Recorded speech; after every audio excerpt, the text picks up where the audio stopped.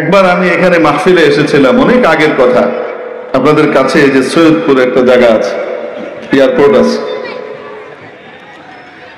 ওখানে মাহফিল শেষ করার পরে মাদ্রাসায় এক ছেলে আমার সাথে দেখা করতে এসেছে অ্যাবনর্মাল ছেলে মানে বয়স খুব বেশি না, বিশ পঁচিশ হবে।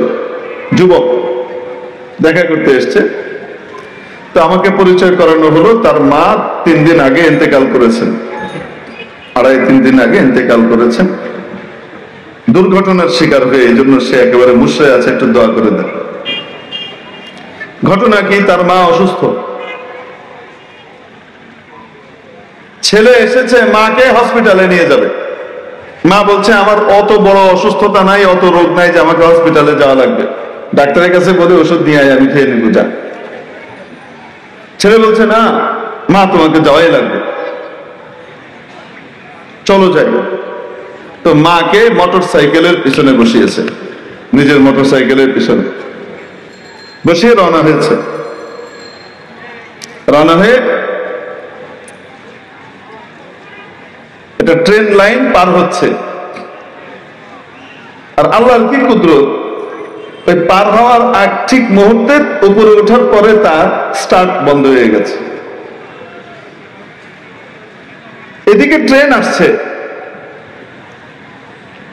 এখন ট্রেনে যে এটাকে সরাবে, এই সরাতে সরাতে মানে বুঝতে বুঝতে দেরি হয়ে গেছে ট্রেন এসে মেরে দিয়েছে। সে ছিটকে সাইডে পড়েছে, তার কিছু হয়নি, কিন্তু তার চোখের সামনে তার মা কাটা পড়েছে ট্রেনে এটা দেখার পরে তার ভিতরে এক ধরনের অপ্রকৃতস্থতা দেখা দিল। সে নিজেকে আর ঠিক রাখতে পারছে না নর্মাল হতে পারছে না। রাতে ঘুমাতে পারে না। মা বাসাতে তো ভালোই ছিল, অসুস্থ ছিল, হালকা অসুস্থ। মার মহব্বত করে সুস্থতার জন্য নিয়ে যাচ্ছিলাম। আর এখানে কাটা পড়ে গেলাম। আমার মা কাটা পড়ে গেল, আমার চোখের সামনে। যেন আমি আমার মাকে মারলাম। বিষয়টা এরকম না। তো তার কাছে কি হচ্ছে? খুব পেরেশানি আর কষ্ট যাচ্ছে। তাকে বসিয়ে রেখে শোনার পরে তাকে বসিয়ে আমি তাকে একটা ঘটনা শুনিয়েছি।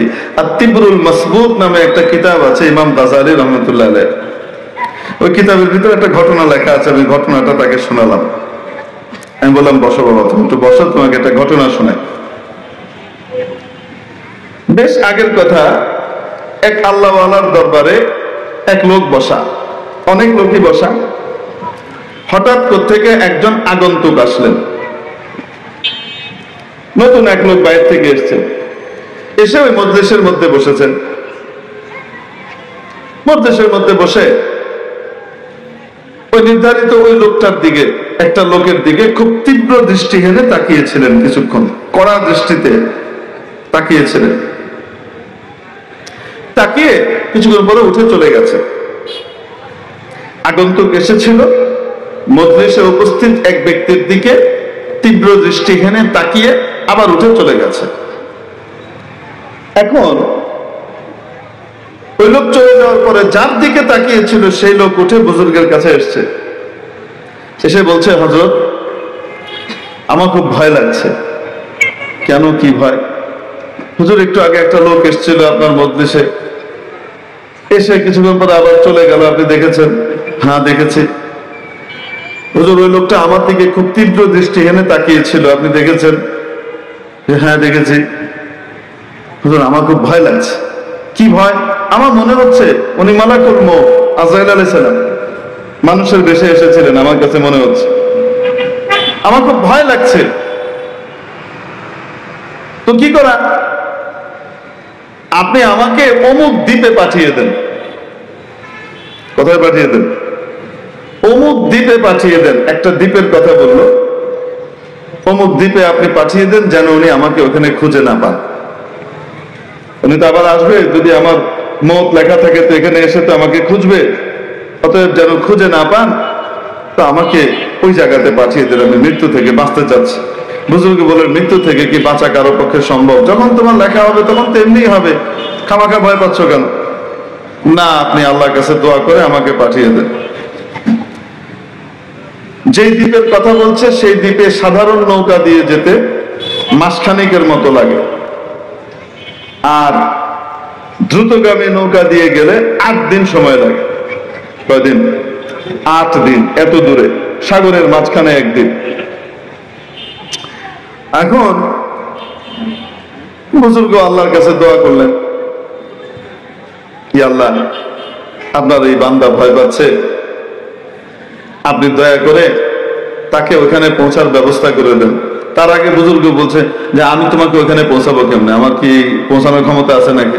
বলছে, না, আপনি বাতাসকে আদেশ করেন, বাতাস নিয়ে যাবে। উনি বললেন, বাতাস কি আমার কথায় চলে? তো লোক নাছর বান্দা, সে বলে যে, না, বাতাস আপনার কথায় চলে না, কিন্তু বাতাস যার কথায় চলে, সেই আল্লাহর সাথে আপনার সম্পর্ক আছে। আপনি আল্লাহর কাছে বলেন, আল্লাহ কবুল করবেন। তো বুজুর্গ দেখলেন, এত নাচর বান্দা ছাড়বে না, উনি দোয়া করলেন আল্লাহর কাছে। বাস দোয়া করে শেষ করতে দেরি থেকে এক ঘূর্ণি বায়ু আসলো, ওই লোকটাকে এখান থেকে উঠিয়ে নিয়ে চলে গেল। নাই হয়ে গেল।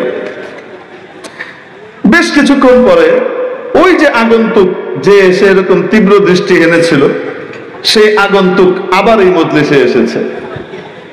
মজলিসে আসার পরে এই বুজুর্গ তাকে ডেকেছেন, এই, তুমি এদিকে মজলিসে এসেছ খুব ভালো কথা। মজলিসের একটা আদব আছে, সেই আদবটা তো রক্ষা করতে হয়। তুমি এসে একটা লোকের দিকে এমন ভাবে তাকিয়েছিলা, বেচারা ঘাবড়ে গেছে, ভয় পেয়ে গেছে। খামাখা তুমি কেন তাকিয়েছো? তোমার পরিচয় কি? কোথেকে এসছো?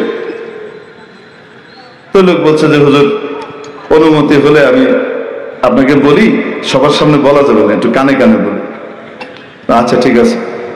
তো হুজুর কান এগিয়ে দিয়েছেন বলছে যে, হুজুর, আমি মালা করব। আমি মৃত্যুর ফেরেস্তা আমার খাতার ভিতরে এই লোকের মৃত্যু লেখা ছিল আর অল্প কিছু সময় পরে। কোন জায়গায়? দ্বীপে। আমি খুঁজে দেখছি যে তার মৃত্যু যেখানে লেখা, সেখানে সে নাই। খুঁজে তাকে বের করেছি আমি এখানে, সে এখানে বসে আছে। তা আমি তাকে ভালো করে তার দিকে তাকিয়েছিলাম এই কারণে। আমার তো কখনো ভুল হয় নাই। আল্লাহর আদেশ পালন করার ক্ষেত্রে আমার কখনো ভুল হয় নাই। একজনের বদলে আমি আরেকজনকে কখনো নিয়ে গেছি, এরকম হয় নাই। ভুল হয় নাই। আজকে কি আমার কোনো ভুল হচ্ছে? এই লোক এই অল্প সময়ের ভিতরে মনে করেন পাঁচ সাত মিনিট। এই পাঁচ সাত মিনিটের ভিতরে, দশ মিনিটের ভিতরে সে এক মাসের দূরত্ব পাড়ি দিয়ে বা আট দিনের দূরত্ব পাড়ি দিয়ে ওখানে গিয়ে পৌঁছাবে কীভাবে? ওখানে যেতে তো মিনিমাম তার সাত আট দিন সময় লাগবে মিনিমাম অথচ তার মৌত ওখানে লেখা। এই লোকে কি সেই লোক? এইটা দেখার জন্য আমি তার দিকে খুব গভীর ভাবে তাকিয়েছি। তাকানোর পরে দেখলাম যে, না, আমার ভুল হয় নাই। এই লোক, সেই লোকই। যার কথা আমার খাতায় লেখা আছে। অতএব আমি নিশ্চিন্ত হলাম, সে কীভাবে ওখানে যাবে? এটা আমার দায়িত্ব না। আমার দায়িত্ব হলো যথাসময়ে ওই জায়গায় পৌঁছে যাওয়া। এজন্য আমি ওখানে পৌঁছে গেলাম। হুজুর, আমি ওখানে পৌঁছে দেখি, বড় আশ্চর্য ব্যাপার, সেই লোক আমার আগে ওখানে পৌঁছে গেছে।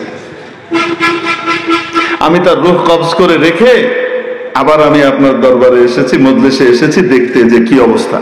ওই লোক আছে কিনা? না সেই লোক তো কীভাবে গেল? এটা আমার কৌতূহল ছিল, আপনার কাছে আসলাম। তো বলল যে এই ঘটনা। এখন বলেন দেখি, যেখানে যার মৌত লেখা আছে যেই জায়গাতে তার বর্ডার দেওয়া আছে ভিসা শেষ, এই বর্ডার দিয়ে তাকে দুনিয়া থেকে বেরোতে হবে। সেই বর্ডারের যথাসময়ে তাকে থাকতেই হবে, ঠিক ঠিক না? তা আমি বাবুকে বললাম, বাজান, তুমি এত বেশি কষ্ট পেও না। অবশ্যই তোমার মা দুনিয়া থেকে চলে গেছেন, এজন্য তোমার অনেক কষ্ট হবে, নিঃসন্দেহে। এই সান্ত্বনা দেওয়ার ভাষা আমার কাছে নাই। কিন্তু তুমি যে তোমার মাকে নিয়ে আসছিলা, মার খেদমত করবার জন্য করার কারণে যে সবাব আল্লাহর পক্ষ থেকে আসার সেটার পরিপূর্ণই তুমি পাবা। মায়ের দোয়াও তুমি পরিপূর্ণ পেয়েছ, কোনো সন্দেহ নাই। তবে তোমার আম্মা জানেন, এখানে শাহাদাত লেখা ছিল যে এখানে এসে তিনি হঠাৎ মারা যাবেন, কাটা পড়ে মারা যাবেন। যেহেতু ইমানদার মানুষ ইমানদার মানুষ যখন কোন ধরনের দুর্ঘটনার শিকার হয়ে মারা যায়, আল্লাহ তালা তাকে শহীদের দরজা দান করেন। তো তোমার মাকে আল্লাহ তালা শহীদের দরজা দান করার জন্য যথাসময়ে এখানে নিয়ে এসেছেন। এটা তুই মন মনে কষ্ট নিয়ে লাভ নাই। এটার জন্য অতিরিক্ত পরেশান হয়েও না। দোয়া করো তোমার মা যেন জান্নাতে থাকে।